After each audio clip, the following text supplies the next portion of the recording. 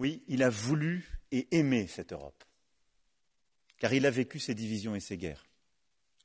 Il a pensé l'Europe, à la fois ses racines, sa civilisation, mais également son destin, car il n'a cessé de la concevoir dans le monde.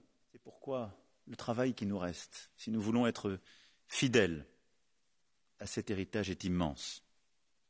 Continuer d'avancer pour une Europe plus forte, cette Europe qui protège, cette Europe plus souveraine, cette vitalité démocratique, nous pouvons encore la renforcer et c'est pourquoi je soutiens cette idée des listes transnationales permettant d'unifier ce démos européen, comme aussi la création d'un droit d'initiative parlementaire pour le Parlement européen, dans la continuité aussi de ce que le gouvernement allemand qui prendra ses fonctions dans quelques jours défend.